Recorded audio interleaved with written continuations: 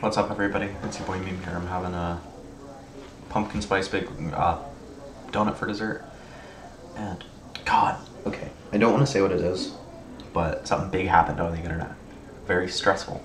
Uh, and you know, I just finished setting everything up and finishing everything, and everything is all good now.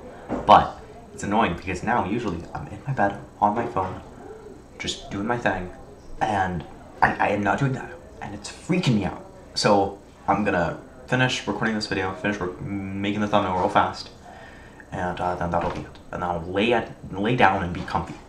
Right, see you.